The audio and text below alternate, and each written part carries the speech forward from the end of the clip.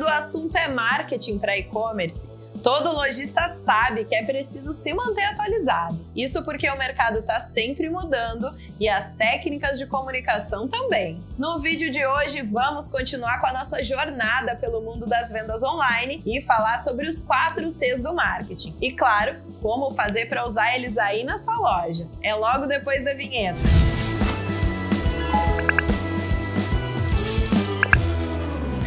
Oi, gente, eu sou a Tami do Melhor Envio. Tudo tranquilo? Se você já estudou marketing alguma vez, já deve conhecer os quatro P's do marketing. Na prática, eles são pontos essenciais do negócio que todo lojista deve ficar de olho. São eles: preço, produto, praça e promoção. Essas quatro palavrinhas dizem respeito às características de como o produto de uma marca está se posicionando no mercado. Esse modelo é muito usado na hora de montar as estratégias aí para o seu negócio. Agora a gente pode dizer que essa técnica teve uma evolução, os quatro Cs do marketing. Diferente do anterior, o foco aqui é o cliente ao invés de apenas o produto. São eles: cliente, custo, conveniência e comunicação. embora a gente possa dizer que um é evolução do outro, nada impede que o lojista concilie as duas técnicas. Antes de explicar o que significa cada C dessa lista, me responde uma coisinha.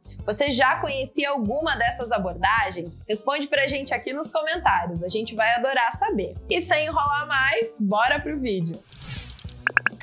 O primeiro C não podia ser diferente Estamos falando do cliente e aqui vale um destaque importante. A gente sabe que não existe venda sem comprador, né? Por isso o cliente vem em primeiro lugar. Um dos principais erros na hora de vender online é acreditar que todo cliente é igual. E isso não é verdade, gente. Além de serem bem diferentes entre si, o público de cada nicho também vai ter hábitos e comportamentos de compra bem diferentes. Então, para mergulhar de cabeça nos quatro Cs do marketing, estude o seu cliente. O ideal é que você vá a fundo. O principal é conhecer os hábitos de compra, mas quanto mais informação você tiver, melhor.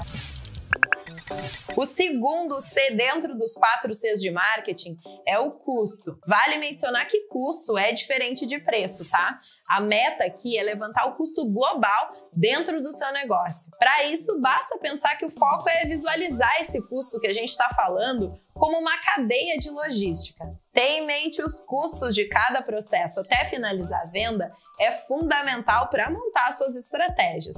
Aqui o cliente também vai ter destaque. Um bom exemplo é pensar nas campanhas de venda online. Cada vez em que você investe numa campanha, existe um custo envolvido para cada cliente alcançado. E vale destacar que esse é um tópico bem abrangente.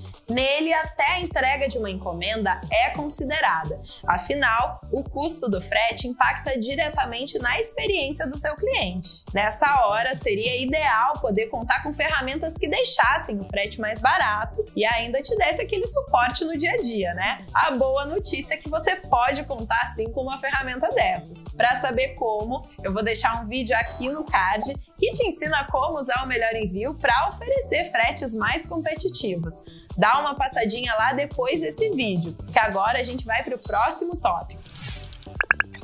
O terceiro C é a conveniência. Agora você vai perceber como os pontos estão se ligando. Nos quatro P's, a gente tinha a praça. Ela diz respeito ao lugar onde a sua loja se encontra. Nesse caso, evoluímos para conveniência. O conceito é parecido, só que bem mais amplo. Trabalhar a conveniência do seu negócio é facilitar o acesso do seu público ao seu e-commerce. Chegou a hora de resgatar aquela pesquisa sobre hábitos de compra.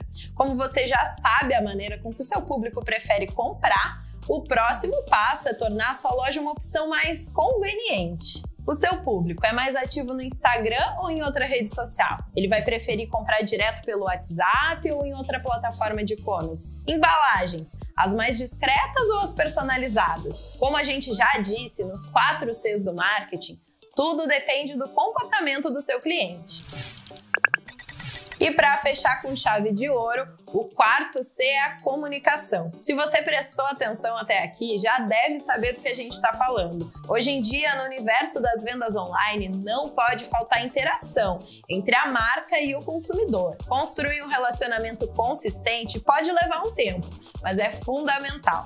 Existem inúmeras maneiras de trazer o seu cliente para perto. As redes sociais estão aí para isso e são um ótimo exemplo. Através delas, você consegue ter uma comunicação cada vez mais próxima do seu consumidor. Inclusive, eu recomendo que você veja nosso vídeo sobre oito ideias de posts para engajar no Instagram.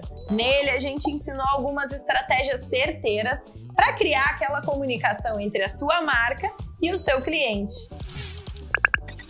Agora que você já sabe o que significam os quatro Cs do marketing, bora para um guia prático e rápido de como aplicar aí no seu e-commerce. Já pega o papel e a caneta e anota tudo que vale a pena. Para colocar em prática essa técnica, siga esses passos. Estude o seu público, explore o seu nicho, se adapte ao consumidor invista em comunicação e tenha presença nas redes sociais e potencialize a experiência do seu cliente. E não precisa fazer tudo de uma vez só, tá? Mas dando um passinho depois do outro, você já começa a notar a diferença. E aí, Tá pronto para usar a técnica dos 4 Cs do marketing e vender ainda mais? Mas antes de ir embora, não esquece de se inscrever aqui no canal para mais conteúdo sobre empreendedorismo. Por aqui também falamos sobre frete e logística para e-commerce. Então, a gente se vê no próximo vídeo. Tchau, tchau! Melhor envio